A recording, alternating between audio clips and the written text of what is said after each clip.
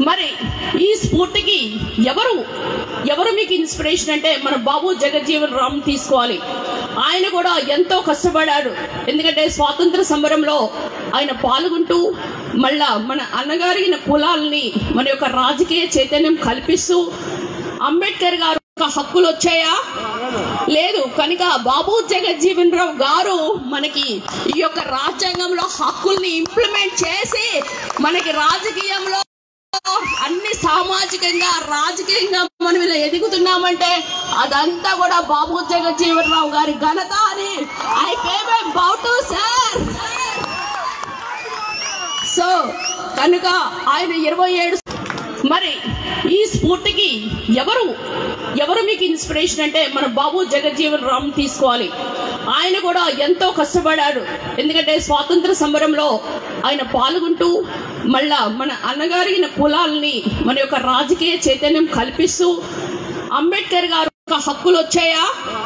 లేదు. కనుక బాబు జగజ్జీవన్ రావు గారు మనకి ఈ యొక్క రాజ్యాంగంలో హక్కుల్ని ఇంప్లిమెంట్ చేసి మనకి రాజకీయంలో అన్ని సామాజికంగా రాజకీయంగా మనం ఇలా ఎదుగుతున్నామంటే అదంతా కూడా బాబు జగజ్జీవన్ రావు గారి ఘనత అని I pay bow to sir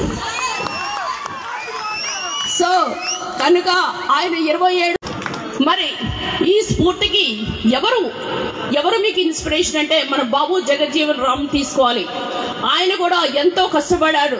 ఎందుకంటే స్వాతంత్ర సమరంలో ఆయన పాల్గొంటూ మళ్ళా మన అన్నగారిన కులాలని మన యొక్క రాజకీయ చైతన్యం కల్పిస్తూ అంబేద్కర్ గారు హక్కులు వచ్చాయా లేదు. కనుక బాబు జగజ్జీవన్ రావు గారు మనకి ఈ యొక్క రాజ్యాంగంలో హక్కుల్ని ఇంప్లిమెంట్ చేసి మనకి రాజకీయంలో అన్ని సామాజికంగా రాజకీయంగా మనం ఇలా ఎదుగుతున్నామంటే అదంతా కూడా బాబు జగజ్జీవన్ రావు గారి ఘనత అని I pay my bow to sir